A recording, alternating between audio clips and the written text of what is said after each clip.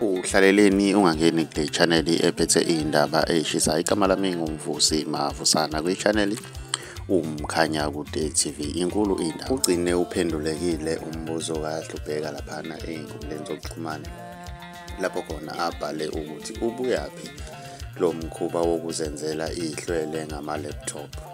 Abantu abaningi kumakhomenti ke laphana wey'ngane zakwethu beveza imicimbi kakhuzane lo kade use-workshop laphana wey'ngane zakwethu beveza nomcimbi kamthandeni bephendula laphana kumakhomenti wey'ngane zakwethu baveza ukuthi-ke uhlubheka okhuluma ngalo lo daba. Mina ngiyafisa ukwazi ukuthi wena ngabe kuthini okwakuphawula ngalolu daba. Ake sidibane laphana kwi-comment section. Ngizwe ukuthi wena ngabe kuthini okwakho ukuphawula uma umusha ngiyacetha wenza okulungile ucinisa subscribe kuzene bell ukuze uzothola ama-notification njalo masiphosta ividiyo entsha